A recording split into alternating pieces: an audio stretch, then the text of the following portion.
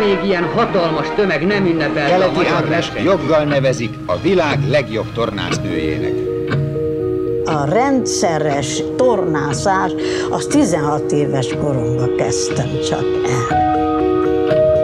A kornak nincsen nagy szerepe, hanem a lelki beállítottságnak. Talán azért csináltam jól, mert sosem akartam első lenni, nem érdekelt. Elsősorban a háború és a zsidó törvény miatt eh, kb. tíz év elment az életemből, és elkéstem. Hát az élet megtanított arra, hogy ha valamit az ember el akar érni, azért keményen meg kell küzdeni.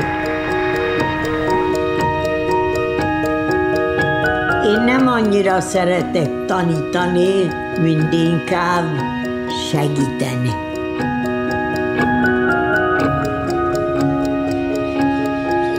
Csak az ember elég szerény legyen. Erről van szó. Akkor az élet szereti.